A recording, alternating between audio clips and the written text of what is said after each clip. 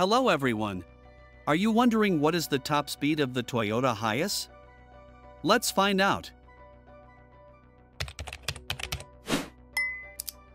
The Toyota Hiace features a 3-liter turbocharged diesel engine that delivers 134 horsepower. This commercial van reaches a top speed of around 105 miles per hour, or 169 kilometers per hour. It accelerates from 0 to 60 miles per hour in approximately 13 seconds. The Hiace engine is paired with a 6-speed manual transmission that provides smooth and reliable power delivery.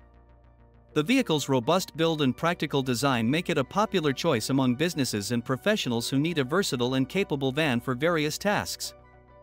Please like the video and if it was useful consider supporting us on Patreon. Thank you for watching and see you later. Goodbye.